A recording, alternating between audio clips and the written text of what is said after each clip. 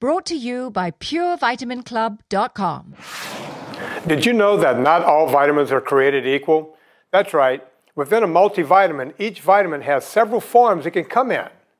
Take B12 for instance. One of the forms is cyanocobalamin. That's the type most companies use. Do you know why it's called cyanocobalamin? Because it's actually B12 wrapped inside of a cyanide molecule. Poison. Cyanide poisoning. If you guys remember Jim Jones, that's what he used in a Kool-Aid that killed all of those people in Jonestown, Guyana. That's right.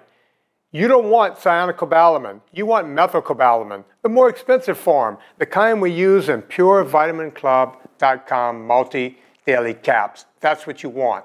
You want the good methylcobalamin, not cyanocobalamin. purevitaminclub.com. Now let's see what poison tastes like.